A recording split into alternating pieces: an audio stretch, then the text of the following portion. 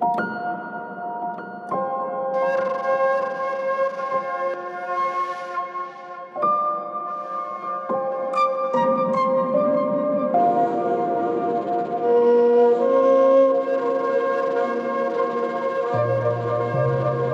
this episode of Inside Japan, we are taking you to the cultural epicenter, the mystic city of Kyoto. Known for its numerous temples, shrines, gardens, and palaces, Kyoto deserves more than a couple of days of your attention. Good morning. So this is our first ever cab ride.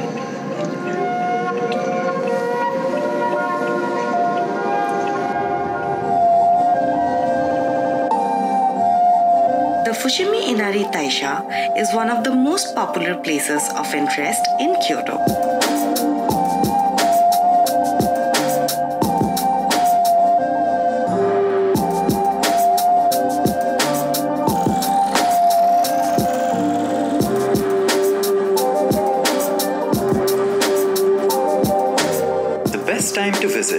Early morning, as this temple is open 24 7 to the public. Fushimi Inari is world famous because of its unique pathway to the mountain top lined with 32,000 torii gates. As the day goes by, more and more tourists pour in, so try and be early for that perfect shot you always wanted to get.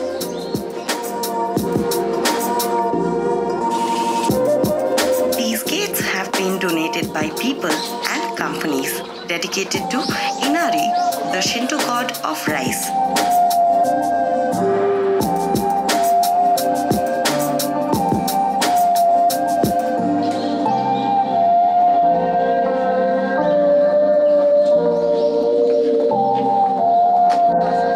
Some of these are numbers for sure. That one's a number. I think that's five. Yeah. 10, 1. But yeah, I have no idea.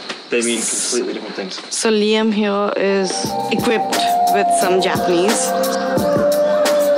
Each vermilion torii gate has details of the donor and amount donated written on the sides.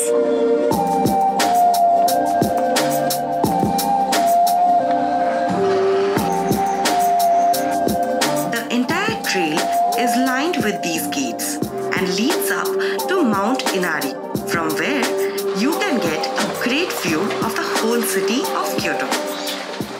everything makes for a perfect tourist destination, you should know the truth behind it.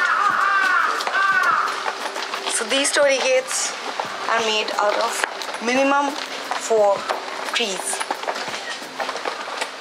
Two pillars on either sides for two trees, and there's more wood on the top, which means you are cutting about four trees for one gate, and it's not cool. However, it's noteworthy that the Japanese plant a lot more trees to make up for the natural balance from timber generation.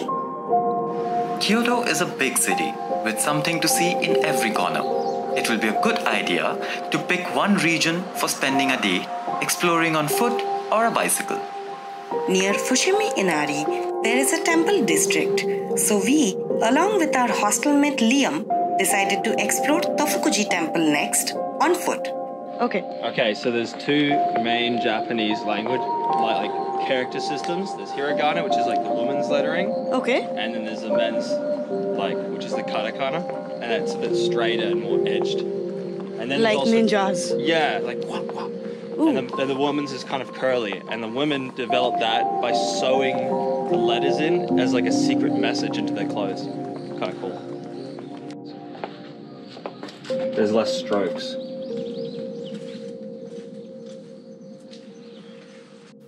The Tofukuji Temple is famous for koyo viewing from the wooden bridge. We could see the colors changing, but in peak autumn, it's a sight to cherish.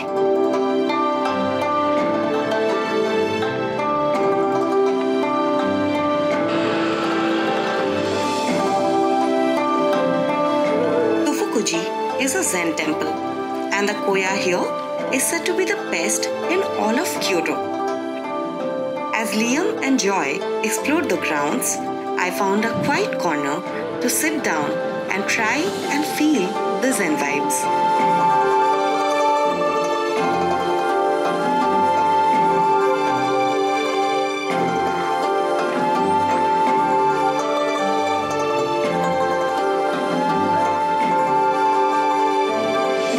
After offering prayers for the dead at a shrine for the departed, we walked along the street to find yet another hidden gem. The Higashiyama Temple district has a lot of shrines, but the best are inside the Senyuji complex. We found the Yokihi Kanondo, which was built by the emperor's concubine to preserve her faith. It was burned down later and rebuilt using timber from the palace.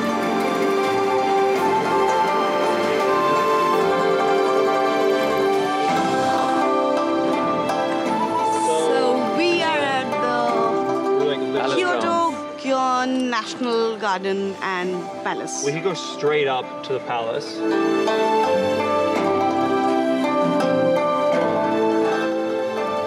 Kyoto used to be the capital earlier in the day.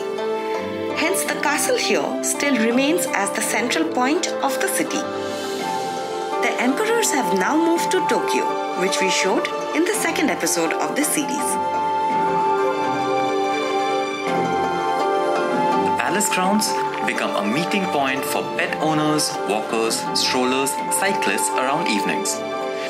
We spent a few hours here just interacting with them and cherishing a good day of exploring the city with Liam, our friend from Canada. We were served the best charred beef at Iwai's kitchen near Nijo Castle.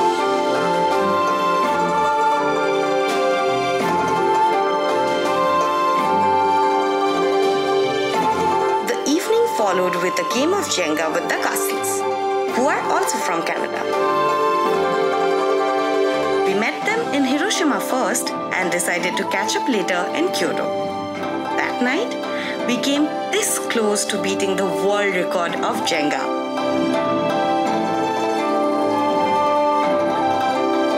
Catch the last episode of our Japan trip next. And don't forget to subscribe, like, and tell us how you liked Kyoto in comments below.